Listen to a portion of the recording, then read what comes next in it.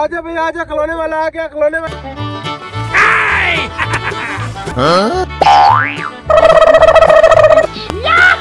अबे